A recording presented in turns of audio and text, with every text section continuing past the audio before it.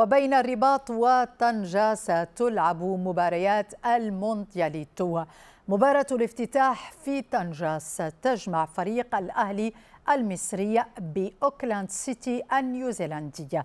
طنجة جاهزة لهذا الموعد الكروي العالمي. أنس فوبار. يوم واحد يفصلنا عن قص شريط النسخة التاسعة عشرة من كأس العالم الأندية. عروس الشمال تزينت وباتت في أبهى حلة في انتظار ضربة البداية. بعدما كان ملعب أكادير شاهدا على افتتاح نسخة 2013 ثم بعده مركب الأمير مولاي عبد الله في النسخة الموالية. الأنظار تتجه يوم غد إلى ملعب طنجة الكبير الذي أضحى جاهزا بعد الأشغال التي أنجزت في ظرف قياسي. الملعب الكبير لطنجة جاهز تماما لاستقبال هذا الحفل الكروي العالمي وهذا بفضل تضافر الجهود والهدف هو استقبال الضيوف في ظروف جيدة ومميزة وأن ننال إعجاب جمهور كرة القدم في المغرب وفي سائر بقاع العالم.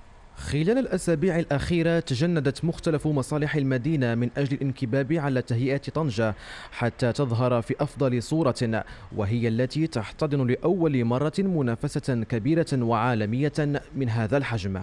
حقيقة ما شاهدته من استعدادات. توحي بأن مدينة طنجة جاهزة لاحتضان هذا العرس الكروي العالمي. وهذا ليس بغريب عن هذه المدينة التي دائما كانت حاضرة ليس فقط في مجال الرياضة وكرة القدم لكنها متعودة على استضافة هكذا نوع من الفعاليات والملتقيات الدولية. ملعب طنجة الكبير خضع لإصلاحات كبيرة.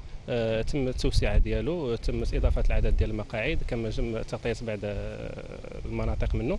وهذه إحدى الإصلاحات هذه تخلي أنه تعطيه واحد الرونق جميل وهذه تزيد الجمالية ديالو.